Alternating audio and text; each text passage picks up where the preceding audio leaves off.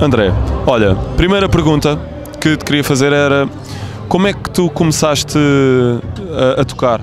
Como é que nasceu a cena da bateria e assim, principalmente? Ok, então basicamente isto é um processo um bocado longo, uh, mas tipo, imagina, tive a, a, tenho a felicidade de. O meu pai é músico, então na altura ele tinha um, um, uma banda, os meus irmãos tocavam, tenho dois irmãos mais velhos, então eu tive a sorte de poder crescer também num, neste ambiente. Eu sou de perto de Viseu, Penalva de Castelo, uma terra incrível não tem esta Bahia, mas é alta cena. E, e então comecei a tocar desde, desde muito novo uh, e naturalmente estava num, num, num sítio muito pequeno, que é, que é Penalva, né? e, que, e Viseu em si, estamos a falar já há alguns anitos. Uh, e então, olha, acabei por, por conseguir ter aulas uh, com uma pessoa que me marcou muito, que é o Vicky, que é a baterista da Marisa, já tocou com toda a gente e mais alguma, é uma pessoa que eu admiro bué, e foi uma pessoa que eu já gostava muito de bateria, mas sabes quando encontras alguém que tipo faz-te querer ainda mais isto, estás a ver? Porque é normal, eu acho que em todos, todos nós acabamos por ter sempre pessoas que, que nos influenciam mais. Pronto, e depois eh, imagina, acabei por tirar um curso de novas tecnologias de comunicação que em Aveiro uh, um bocado na altura. Digamos que às vezes ainda se falava um bocado de, de, daquela questão de ter um curso como segurança, que a questão de, de ser músico nem sempre podia, ou seja, as coisas já estavam um bocado diferentes, né? então podia não funcionar, e então tirei esse curso. Uh, acho que não mudava absolutamente nada na, na, minha vida, apesar de ter sido, foram três anos e meio que, que ainda estive lá, Pá, e ao mesmo tempo uh, que estava a estudar, sempre pratiquei muito e sempre tipo, dediquei, na realidade, dediquei muito mais tempo à bateria do que, do que ao curso, mas felizmente acabei por conseguir fazê-lo. Depois, uh, estudei na altura, enquanto estava a estudar em Aveiro, estudava no Porto também, com, com o Hugo Danin, com o Michael Lauren, que são dois bateristas que, que também influenciaram imenso, aprendi imenso com eles. E, e entretanto, quando tinha acabado o curso, Uh, acabei por estar algum tempito em, em Penalva, outra vez, a praticar só, e tomei a decisão de vir para Lisboa. Estamos a falar há 10 anos atrás, e na altura vim tocar com uma banda que era o Das Carrier, que era uma cena de world music, e epá, era, era muito fixe, acabava por ter muita liberdade. Uh, para, para tocar a malta do Caraças, deu para experimentar uh, muita coisa. E entretanto, imagina, comecei a fazer uma coisa que, que, que foi sempre. Imagina, quando tu vives num, num ou quando tu cresces num, num sítio muito pequeno, uh, imagina, as únicas possibilidades que eu tinha de tocar enquanto vivia em, em Viseu, em Penalva, acabavam por ser bandas de baile. E então comecei a tocar desde os 13 anos uh, em bandas de baile. E imagina, essas bandas de baile são aquelas bandas que durante o verão tocam imenso. E quando eu digo imensa, é mesmo muitas, muitas vezes e muitas, muitas horas. Estás a ver? E então isso eu acho que foi super importante para mim, porque acabas por dar muito valor àquilo, a, a tudo o que tu vais conquistando. Estás a entender? E então para mim foi, foi incrível quando vim para Lisboa e que comecei a tocar, uh, comecei a tocar com artistas que eu ouvia discos quando era muito novito e quando praticava em casa por cima desses discos. Então para mim foi tipo pá, tem sido um caminho tipo, pá, que estou mesmo agradecido, mesmo agradecido. Uh, próxima pergunta tem a ver uh, um bocadinho com de onde tu vieste e, okay. por exemplo, em, em, mais concretamente este concerto. Um, não é propriamente a tua área de onde Sim. te sentes em casa, provavelmente. Uh, como é que tu fazes essa transição? Se para ti às vezes é difícil ter alguma Sim. contenção, se não, se, como é que tu fazes essa transição?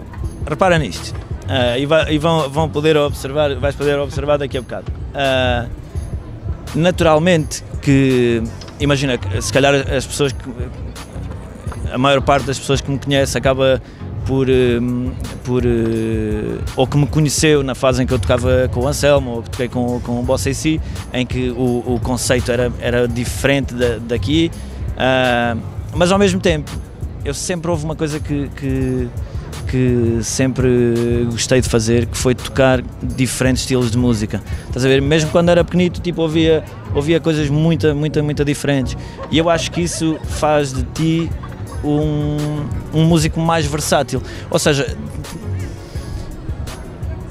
sem, ou seja, sem, sem querer estar a, a falar nada que, que, pareça um bocado demais, tipo, mas imagina, não me custa assim tanto esta transição, ou seja, é, de certa forma sempre acabei por tocar em projetos mais acústicos, uh, outros em que tens que, que, que, tocar com mais energia.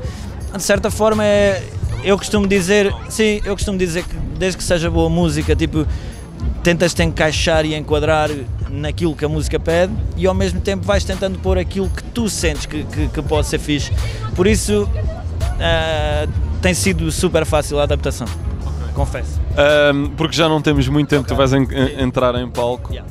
Um, se pudesses dar um conselho à malta que está a começar a tocar eh, bateria, a músicos no geral, sim, sim. Um, o que é que deve fazer, o que é que. Um okay. bocado o foco por onde, por onde começar, ou o que é que tu achas que Imagina, seria? Eu acho, eu acho, que é uma, é uma pergunta que, que demoraria mesmo mais tempo a. Nós depois vamos. Gostava, gostaríamos, fica já aqui o convite, ter uma conversa com muito mais calma, mas, mas, mas força. Certo, eu gostava muito também, por isso vamos embora para a frente. Mas o que, é que, o que eu te posso dizer é que naturalmente que a música tem, tem evoluído muito e tem sido extremamente diferente a música que é, que, que é feita hoje em dia e a música que, que era feita, sei lá, há 20 anos atrás ou assim. Uh, e então aquilo que eu sinto é que.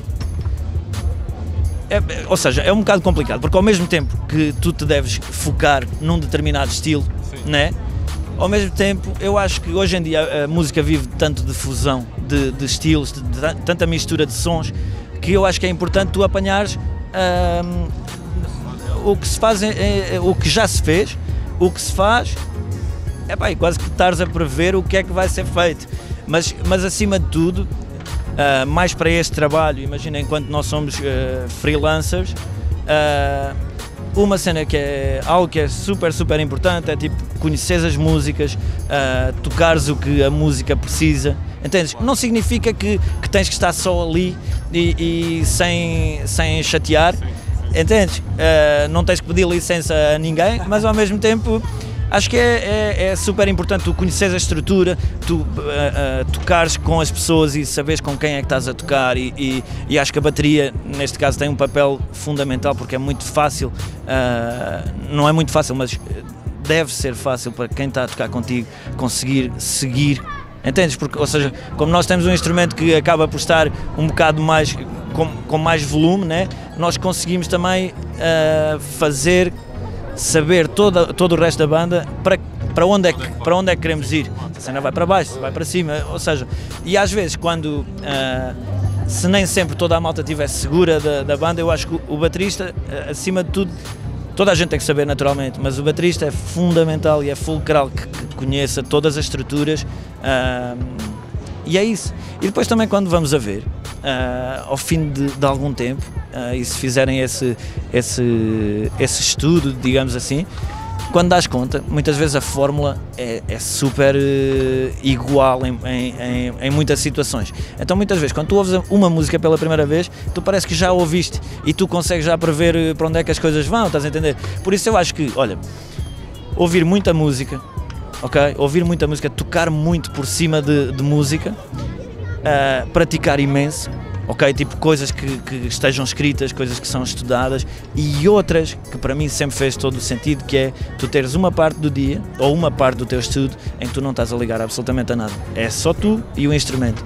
Porque é isso que consegue criar uma consegues criar uma relação com, com o teu instrumento, estás a ver? E eu para mim isso sempre foi, foi super importante. Sempre estudei muito com coisas escritas e sempre tive uma parte que eu nunca, nunca dispensei, que foi praticar, tocar só por tocar. Ok? okay.